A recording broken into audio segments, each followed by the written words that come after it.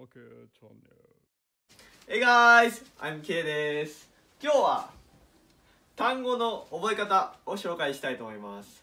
単語は分解して覚えると便利なんですよ。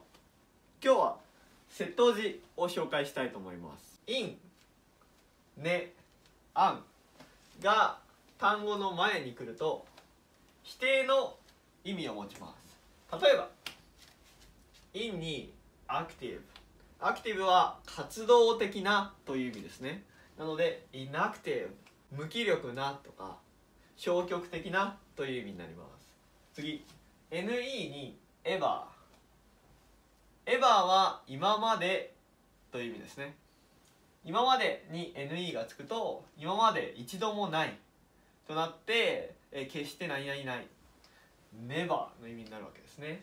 で an も able 可能なという意味に an をつけると unable 不可能なという意味になります。それでは incompatible neither unemployment 意味わかりますか？compatible は比較できるという意味です。その前に in がつくと incompatible 比較できない。比較できないほどずば抜けている。もう比較できないぐらいすごい。という時に incompatible と使います。neither either はどちらかという意味ですね。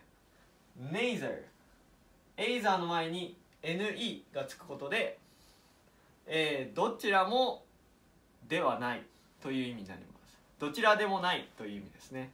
最後。